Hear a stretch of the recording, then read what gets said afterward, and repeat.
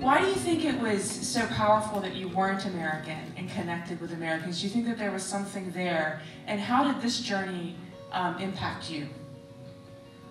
Well, I think I, I think the latter half answers the first half. Is I think because I went without an agenda, without a goal of trying to convince people of something, um, and that I was just exploring my own human humanity because I felt I respect your religious view, but is it not possible? That same question I kept asking him, is it not possible for others to have an, an, a, a, beautiful religious experience? And I, it was really bothering me that he couldn't see the beauty in, in another tradition.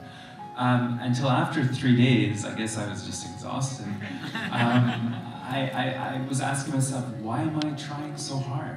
Why do I care? And am I not just as much proselytizing to him as he is to me.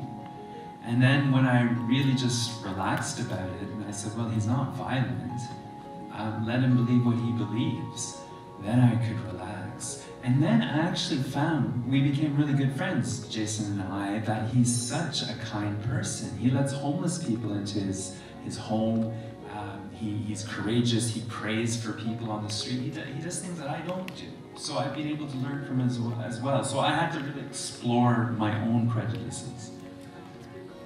Yeah, I mean, it's it's it's a beautiful aspect of, of, of humanity, and and I think every society has so much beauty and so much to offer, and uh, I think with Egyptians and Arabs, there is this this hospitality. Um, you feel it as well in a lot of Mediterranean countries, and, and um, yeah, I, I, I don't know what to say. It was just deeply, deeply moving.